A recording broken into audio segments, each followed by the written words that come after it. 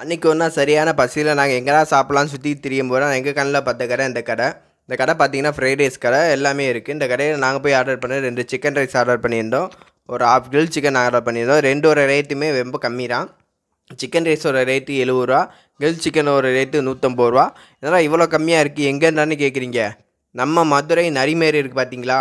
அங்கே சென்னை பாப்ஸ்க்கு ஆப்போசிட்டில் இருக்கிற கடை தான் கடை பேர் பார்த்தீங்கன்னா ஸ்டார் பிரியாணி இந்த கடையில் எல்லாமே கம்மியாக இருக்கும். ஆனால் கடை ஆம்பியன்ஸ் பார்க்க பெரிய பக்காவாக இருக்கும். பெரிய ஹை கிளாஸ் ஹோட்டல் மாதிரி இருக்கும். அப்படி பார்த்து யார் ஏமாந்துட வேணால் உள்ளே போய் விசாரிச்சுப்பாங்க ரேட்டு கம்மி தான். நாங்களும் ஃபஸ்ட்டு அப்புறம் நினச்சேன். இனிய மாதிரி யார் யார் வெளியே பெரிய ஆம்பியன்ஸை பார்த்து ஏமாந்துருக்கீங்களோ அவங்க கீழே கமெண்ட் பண்ணிடுங்க அது மட்டும் இல்லாமல் மதுரைக்குள்ளே எங்கெங்கன்னா கம்மியான ரேட்டில் சாப்பாடு கிடைக்குன்னு தெரிஞ்சுக்கிறோம்னா நம்ம சேனலை சப்ஸ்கிரைப் பண்ணிக்கோங்க. அப்போ தான் நம்ம போடுற வீடியோஸ் எல்லாமே நீங்கள் பார்க்க முடியும்.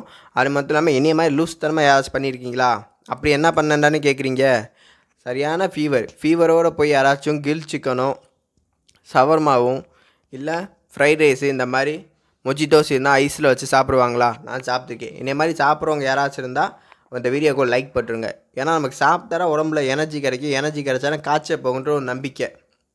அதனால நான் என்ன பண்ணிக்கிட்டு இருக்கேன். இந்த கடைக்கு யாராச்சும் போயிருந்தீங்கன்னா கீழே கமெண்ட் பண்ணிங்க. டேஸ்ட் எப்படி இருக்குன்றத சொல்லிடுங்க இந்த டீட்டெயில்ஸ் லொக்கேஷன் எல்லாமே கீழே டிஸ்கிரிப்ஷனை கொடுக்குறேன். செக் பண்ணி பார்த்துக்கோங்க. அது மட்டும் இல்லாமல் இந்த ரேட் எல்லாமே வீடியோலேயே வந்திருக்கு. வீடியோ புஷ் பண்ணி பார்த்துக்கோங்க. இந்த வீடியோ பிடிச்சிருந்தா ஒரு லைக் பண்ணிடுங்க ஷேர் பண்ணிடுங்க சப்ஸ்கிரைப் பண்ணிடுங்க முக்கியமாக அந்த பெல் பட்டன் அமைக்கி லாக் பண்ணி வச்சுக்கோங்க.